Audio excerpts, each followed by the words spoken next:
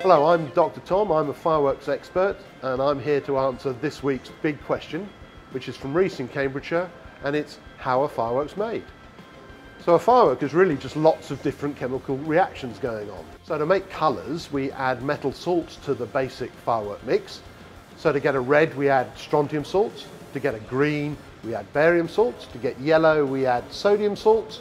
And to get a blue, which is the most difficult firework colour of the lot, you add copper salts to the basic mix. So what we pack into the fireworks to make the effect in the sky are what are called stars. And there's a star. This happens to be one that will burn violet, and then when it gets towards the middle, it changes the composition and burns with silver sparks. It's about the size of a pea, and there will be hundreds of those within a firework shell. Black powder, or gunpowder as some people call it, is one of the key ingredients in making fireworks, and it's there for two purposes.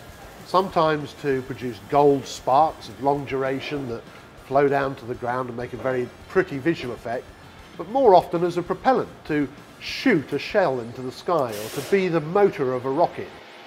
Firework sounds like whistles and screeches are made from a different type of chemistry and what we do is we press a little tiny amount of this composition, our recipe, into the bottom of the tube and then the rest of the tube acts like an organ pipe to amplify the sound and make a really loud sound that you hear at the firework display. So this is a firework mortar. It's what's used to fire the fireworks up into the air. And on a barge for a big show, we'd have hundreds and hundreds of these together.